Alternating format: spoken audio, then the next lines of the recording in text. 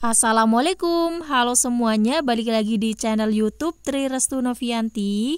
Wah, sebentar lagi lebaran ya, udah beli isian toples apa belum?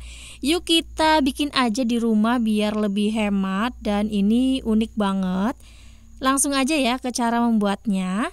Pertama siapkan mangkok dan coklat batang atau di sisi sebanyak 250 gram kita sisir-sisir seperti ini atau dipotong kecil-kecil biar nanti mempermudah untuk proses pencairan.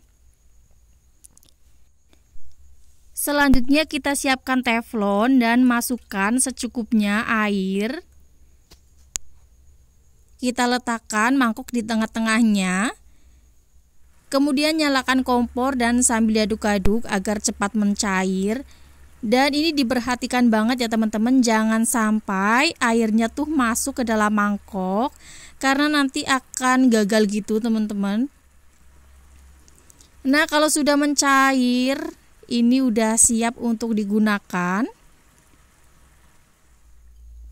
Siapkan sendok plastik. Di sini aku punya sendok bebek. Teman-teman bisa pakai sendok jenis apa aja sih, yang penting plastik. Kita masukkan kurang lebih satu sendok teh aja. Nah, kurang lebih seperti ini ya teman-teman. Cukup satu sendok teh aja, ini udah memenuhi sendok plastiknya. Kemudian kita kasih topping. Untuk topping itu bebas ya, bisa pakai permen Yupi seperti ini. Bisa juga kita menggunakan misis.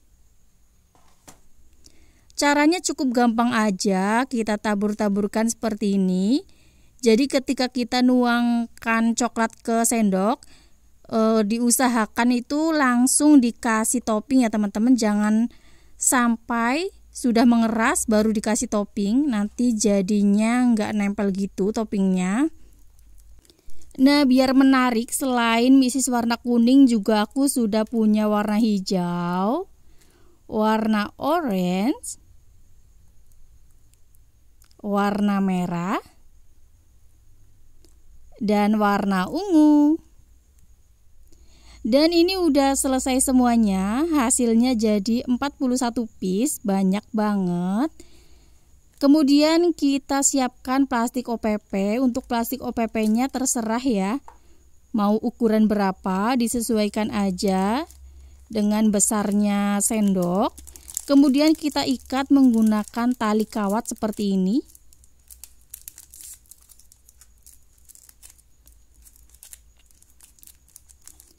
Nah ini udah selesai teman-teman Seperti ini hasilnya ini tinggal kita masukkan ke dalam toples aja. Untuk jualan juga ini oke okay banget bisa dijual dengan harga seribuan. Terima kasih yang sudah menonton video ini. Semoga video ini bermanfaat. Salam sukses luar biasa. Wassalamualaikum warahmatullahi wabarakatuh.